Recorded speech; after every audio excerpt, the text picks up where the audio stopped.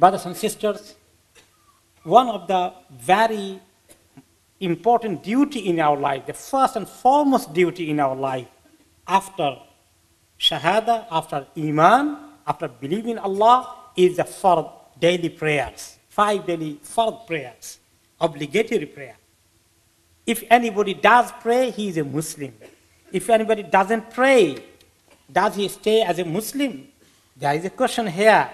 In hadith, রসুল্লাহ সাল্লাহ আলাইসালাম সেই ইন wa বাইনাহুম আসলা ফামান Faman কাহা ফাকাত kafar." The covenant that stands between us and them is the salah. whoever abandons it, he is committed disbelief. He doesn't stay as a, a, Muslim almost. This is the message in this hadith. Allah subhanahu wa ta'ala made this salah is fard upon us. He said, uh, and established salah at the two ends of the day and at the approach of the night. Indeed, good deeds to uh, do away with misdeeds. That is a reminder for those who remember in this hadith there is indication of the five daily prayer that it causes expiation of our sin. Many of the hadith will, uh, will establish that. And after that, we can see in hadith Rasulullah sallallahu said uh, that five, there are five prayers, five daily uh, prayers, obligatory salah, which Allah has prescribed on His servants. If anyone offers them, not losing anything of them, and not treating them very lightly, Allah guarantees that He will admit him to paradise, to Jannah. If anyone does not offer them, Allah does not take any responsibility for such a person. He may either punish him or forgive him. In another hadith, Rasulullah sallallahu alaihi wasallam said, "Whoever takes care of this, takes care of this, this salah, five daily prayer, it will be in the day of judgment nur, light for him, and evidence, proof that he is a Muslim, and it will cause salvation to him. Whoever doesn't take care of the salah, it will be, uh, he'll be not getting any nur, neither he'll get any proof, any evidence that he is a Muslim, neither he will be achieving salvation. And further came in another riwayah, he will be resurrected with the accompanyship of Qarun, Fir'aun, and Haman, and Ubay ibn Khalaf. Why? Why these four are mentioned? That is symbolic uh, uh, kind of thing because people could be busy with uh, their wealth. Somebody very wealthy person, very rich person, is busy with his money to manage and to organize and to take care of them. So he forgot the salah, he abandoned it. Then that, that's why the wealthy man will be resurrected with Qarun, the one who was a very wealthy person. And if he was busy of the running the country, he was a king or Amir, or he was president, prime minister, but he didn't pray. He was a so-called Muslim, but he didn't pray. Busy with his kingdom, busy with his country to run, then he will be resurrected with Pharaoh, the king who disobeyed Allah. If somebody was, uh, you know, who, who, whom will be uh, resurrected with Haman, who was a minister of Pharaoh, the one who is busy in politics, became minister or MP or whatever it is, all these busy with his politics. Politics made him busy with the meetings, with many things, and he abandoned prayer. He will be resurrected with Haman. The one who, who will be re resurrected with Ubay ibn Khalaf, a rich businessman of Makkah, Kuffar, the Quraysh, the, the businessman, because business is so important, and if he goes to close the shop for half an hour, for five minutes to pray, his business will be losing. So he doesn't pray, or he abandons Salah, then he will be resurrected with Ubay ibn Khalaf. And that's why this is the covenant uh, of us. If we miss the Salah, then even we lose the deen itself. And we can see Allah subhanahu wa ta'ala has said in the Quran many times, again and again reminded us about the importance of Salah. He said, Hafidu ala salawat, wa salatil usta, wa qumulillahi qanitin. Maintain with care the obligatory prayers, and in particular the middle one, i.e. the Asr prayer, and stand before Allah devoutly obedient. So to take care of the all five daily prayer, why is this emphasis on the Asr, special stress on Asr?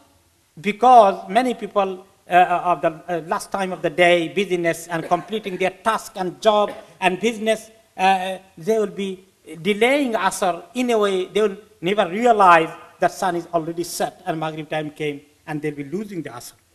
That is the danger. That's why uh, Allah subhanahu wa ta'ala emphasized it. Exactly in the hadith Rasulullah sallallahu alaihi wasallam emphasized. What he said, الذي تفوته صلاة العصر فكأنما وتر أهله وماله. the one who lost Salatul Asr, missed it, could not pray on time, he was delaying until sun is set, and then he thought, uh, oh, khalas, he lost it. He is doing something big loss in his, in his life, like, like he got the news of losing all of his family and wealth. If suddenly one of you, may Allah protect you, preserve your family and wealth, some of you got news now or any time that you have lost your whole family, all of them died through an accident, what kind of news it is for you? May Allah protect your family. If you got the news that all of your, your, your asset is burned, nothing left, what is the news is? So if you lose Salatul Asr, this is like that. May Allah save us. And that's why Allah subhanahu wa ta'ala said, فَوَيْلٌ لِلْمُصَلِّينَ الَّذِينَ هُمْ عَنْ صَلَاتِهِمْ سَاهُونَ So, woe to those who pray, but who are heedless of their prayer. Pray, but sometimes they miss it. Or it could the meaning, sometimes they, they delay it. Or they are not, they're heedless totally. Many things could include in this ayah. It, it is not those who never pray. For them, they have committed something, even kufr act. Here, those who pray, but they are careless. They are not hafizun of their salah. That's why Rasulullah sallallahu in his very last word, which he said, he spoke where, uh, you know, كان آخر كلام رسول الله صلى الله عليه وسلم الصلاة الصلاة وما ملكت أيمانكم الصلاة الصلاة the prayer the prayer and fear Allah about those whom your right hand possesses. In another hadith, Rasulullah emphasized us to pray in Jama'ah in the masjid. If it is possible, if it is not that far away, if it is, if it is reasonable distant, if you have a car, you can reach by in a couple of minutes, five, ten minutes. He said, Man sarrahu an yalqa Allaha ghadan musliman falyuhafiz ala hawlai salawat haythu unada bihin fa inna Allah shar'a li nabiyikum صلى الله عليه وسلم سنن الهدى وإنهن من سنن الهدى ألو أنكم صليتم في بيوتكم كما يصلي هذا المتخلف في بيته لتركتم سنة نبيكم ولو تركتم سنة نبيكم لضللتم Whoever would like to see, whoever uh, would be happy to meet Allah tomorrow as a Muslim, let him he take care of these salawat, five daily prayer, from the place it is called, from the masjid. So to pray in the masjid after hearing adhan. Indeed, Allah subhanahu wa ta'ala uh, recommended for your prophet the, the, the best, best guideline, best path, best way to follow. And to pray this five day prayer in the sunnah is the best hidayah, is best sunnah, is the best guidance. But if you don't pray in the masjid and uh, you pray, starting praying at home, the daily fard prayer, like the one who is always missing uh, salah in jama'ah, then you will abandon your prophet's sunnah. Whoever abandons his prophet's sunnah, surely he'll be misguided. Very last point about those who pray the salah but they are heedless, not praying with the qunut, with khushu, with humbleness, with the, with the presence, uh, with, with, with, with, the uh, you know, full presence of Allah in their mind. Allah reminded them, قَدْ أَفْلَحَ الْمُؤْمِنُونَ الَّذِينَ هُمْ فِي صَلَاتِهِمْ خَاشِعُونَ certainly will be the believers have succeeded, they who are during their salah humbly intent. they are in focus of their Lord, Allah, in the salah. And Rasulullah sallallahu alaihi wasallam said, إن أول شيء يرفع من هذه الأمة الخشوع لا ترى فيها خاشعا. The first thing of this my ummah will happen that khushu will be raised from them, will be taken away from them. And you'll hardly find somebody will having the khushu.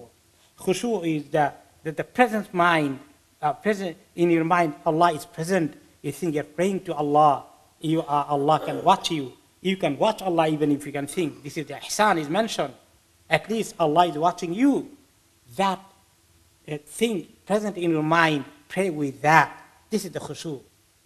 And Hudayfa radiallahu anhu said, أول ما تفقدون من دينكم الخشوع وآخر ما تفقدون من دينكم الصلاة. The first thing of you will be losing of your deen is khushu'.